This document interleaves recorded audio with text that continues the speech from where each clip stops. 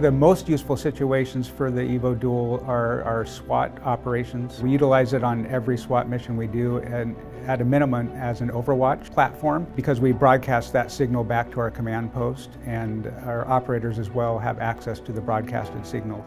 The ability to have a, a, really good thermal camera in addition to the RGB camera is key. A lot of the warrants that we serve for SWAT are early morning, so it's usually dark outside. So the ability to give the command post real-time information about what's going on in the ground during darkness requires a good thermal camera.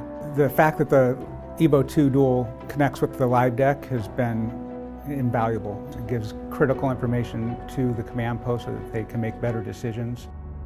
The quality of the thermal camera combined with the size of the platform and the ease of getting it in the air, the ease of operating it, the battery time for flight is I mean, it's almost a perfect package.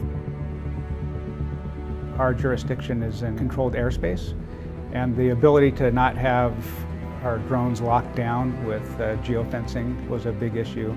A lot of the other platforms that are available out there that have that quality of thermal camera, they're much larger platforms. It's a lot more work to get them up in the air. So the Evo 2 Dual is by far the best combination of size and quality of camera that we've found so far.